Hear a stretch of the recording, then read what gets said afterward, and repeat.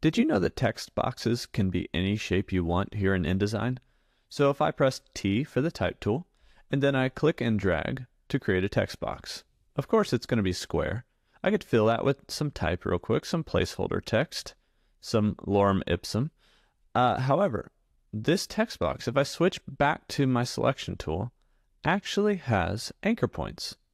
And I'm going to go to the pen tool. That's P for the shortcut key. Now you can actually see these anchor points in all the corners. You can remove an anchor point by clicking on it with the pen tool. And now my text box is a triangle. I can also find or hover over any area of my text box to add an anchor point. Now, if I want to move these anchor points around, obviously I can add and subtract with the pen tool, but if I go to this white arrow, which is the direct selection tool, the shortcut key is A, I could click on one of my anchor points and then drag it around. Now I missed it a little bit there, so I can click and drag to select a specific anchor point. You just have to make sure that the anchor point you have selected is in blue. You can see how it's blue right there versus the white boxes like this one over here. Now if I click around this, I can select multiple anchor points by clicking and dragging, or you could click and hold shift or maybe command, nope, shift to select multiple and you can actually move multiple around at the same time.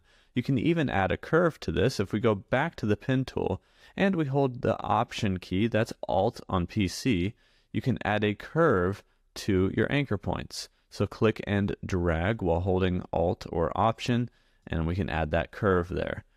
And you can see really quickly we can make custom text boxes. You can do that with shapes tool. So if we delete this text box, we can actually create a shape clicking and holding, grabbing the ellipse tool, the shortcut key is L. We can click and drag. I'm going to hold shift so it's not an oval, it's an actual circle. Let go, and then press T for the type tool and click on this shape. And then we can go up to type and fill it with some placeholder text or type in whatever you want. And now we've filled our circle shape in with text. And you can click on the selection tool to then edit whether or not you have a stroke on that shape or a fill in the background, but essentially this is a custom text box. That's how to create custom text box shapes here in Adobe InDesign.